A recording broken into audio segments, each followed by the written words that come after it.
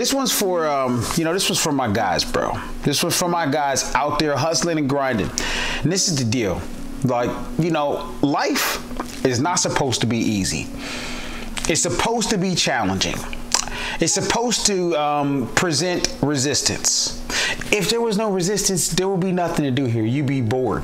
I can tell you sometimes I'm just sitting around my house. I'm just bored. Like I, I need a mission. I need something to do. I need to create something. You know, when I wake up and I don't have a purpose, I just feel I don't care. It don't matter how much money's in my bank account. None of that stuff matters. When I wake up and I don't have a purpose, there's nothing to drive me. There's no reason to live. There's no reason to exist. I'm uncomfortable being too comfortable.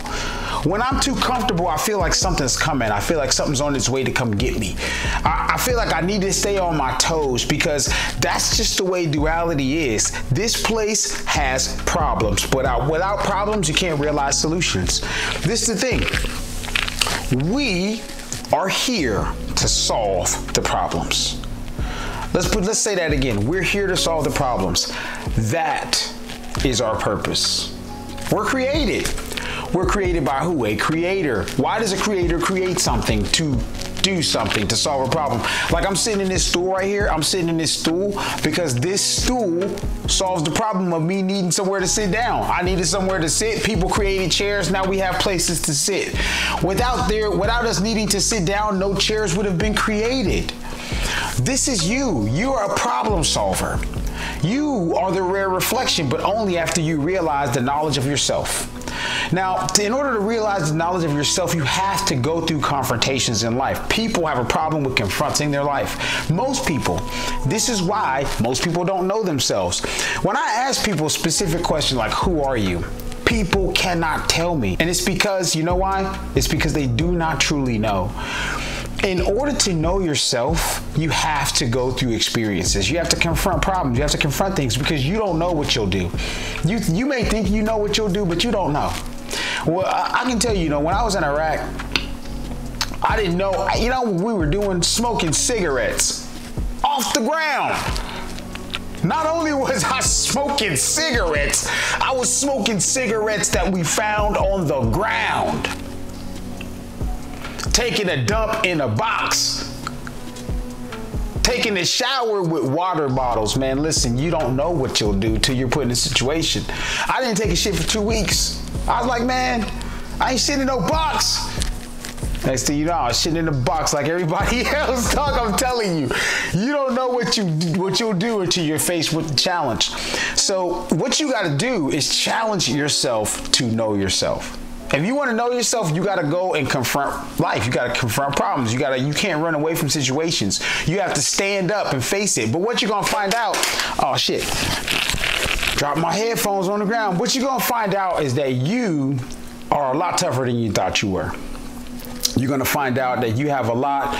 You're going to find out that you're stronger than you thought you were. You're going to find out that you're more resilient than you thought you were. You're going to find out you're more resourceful than you thought you were. You're going to find out a lot of things about yourself because you were challenged and put into a circumstance for those things to be revealed that you never knew and you will only find those things out by confronting situations, problems, okay? Problems are what make you realize solutions. Your solutions are your purpose. That's why you exist, okay? You personally, you solve a problem. There's specific solutions that you realize. And without you and the experiences that you have, those solutions won't exist. You got a duty, you got a purpose, you got something that you should be doing. Every day, you should be doing this, realizing that self knowledge. And if you're not, I don't know what you are doing. Oh, or like, what are you doing? Think about it. If you're not getting to know who you are and what you do, then what are you doing? Because if if you don't know who you are, you're not doing what you should be doing. You're really just running on a treadmill. You're kind of just wasting time. And you're going to get to the end of somewhere and you're going to look around and you're going to realize that you don't even want to be there. That wasn't you didn't plan it for the, for it to be like this. But that's because you can't plan it, okay? Here's the secret sauce you can't plan it. The truth, this one, this is the one truth fact that I realized in my life is that God wants what's best for me. And I'm gonna go get deep and talk about God because I know a lot of people you don't might not believe in God, but that's your problem because you got a problem if you don't believe it because you don't have no direction if you don't have God. There's nobody. There's no if you if there's no God, how'd you get here? Who created you? You, God created you, okay? So when you when God has the plan for your life and he wants the best for you, he really wants what you want. The difference is God knows how to get it and you don't. That's the difference. That's why you have to surrender. You have to learn how to surrender because God can guide you to where you want to go, but you have to walk through the doors. She's going to give you to present the opportunities. You got to take the steps. You got to leap. You got to recognize the opportunity and jump on it. And if you don't, no, you're never going to get there. You're never going to get there. You're not going to get there the way you think you're going to get there. Your route is not correct. You don't know. Again, where are you? Who are you? You don't know. God knows. God knows you. He knows you better than you. So the the best thing you could do is listen to his instructions. Where's the door he's opening for you? Look for it.